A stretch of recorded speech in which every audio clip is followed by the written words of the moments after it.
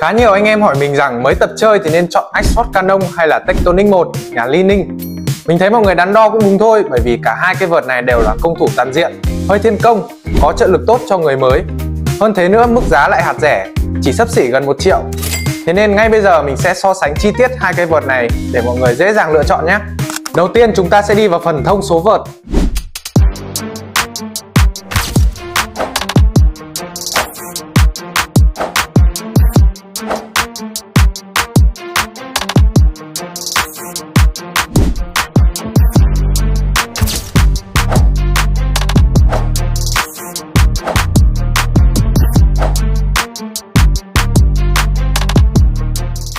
Cả hai cái vợt này thì mình đã từng sử dụng qua rồi.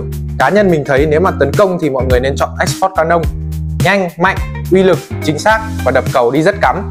Hơi rung một chút thôi Nhưng với mức giá như vậy thì cây vợt này quá là ổn rồi. Thêm nữa là được tích hợp công nghệ Sonic Boom nên là lúc đập nghe rất là đã tai. Về phòng thủ hay là phản tạt thì cây vợt này cũng đáp ứng được ở mức độ ổn. Đua vật cứng trung bình cộng với việc nó nhẹ và có trợ lực nên là mình dễ dàng phông đến cuối sân điều cầu bỏ nhỏ hay những pha cầu khác thực hiện rất là nhanh và linh hoạt. Xét đến Tectonic 1 thì về khoảng tấn công nó chỉ thua cây Export Canon một xíu thôi. Có thể là do sức căng tối đa của nó chỉ dừng lại ở 26 lbs, còn Export Canon thì đến 32 lbs cơ. Tấn công nhanh, chớp nhoáng, có độ chính xác cao do công nghệ mở rộng vùng điểm ngọt. Về phòng thủ hay là phản tạt thì mình thấy Tectonic 1 trội hơn hẳn.